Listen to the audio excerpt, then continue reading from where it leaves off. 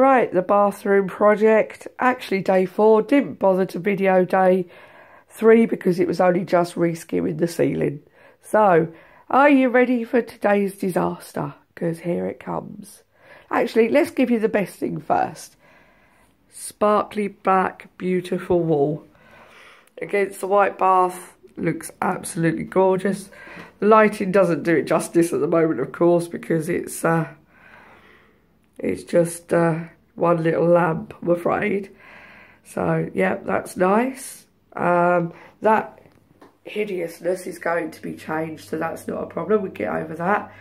Um, where we used to have to use a screwdriver on the toilet, that has been fixed, so we got that sorted. Still not the new toilet, so that's going to be, be gone eventually when the other one comes along.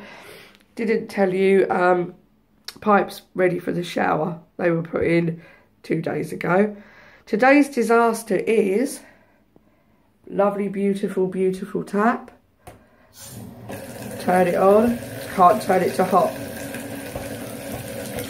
That's in the way. Can't turn it from cold.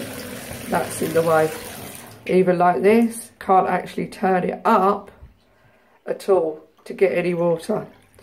So, that's today's disaster. But on the upside, the wall looks beautiful. Okay, come again tomorrow. Please like and subscribe. Bye.